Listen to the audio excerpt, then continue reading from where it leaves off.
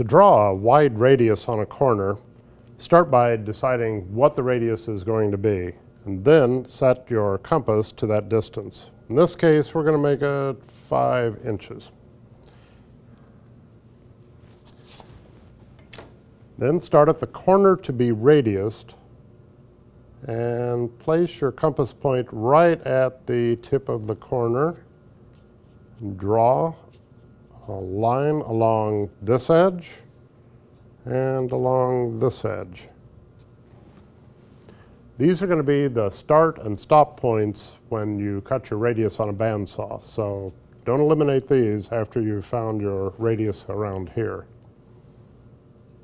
Then place the compass point right at the tip of the edge and straight out draw a, kind of a, just a short arc like this.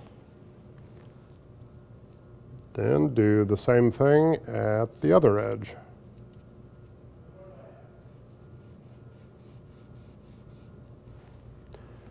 Then, at your start and stop mark, place the compass point here and the pencil here. Inscribe your arc from the start to the stop mark. Then it's just a simple matter of going around to trim this on your batten bandsaw or with a jigsaw.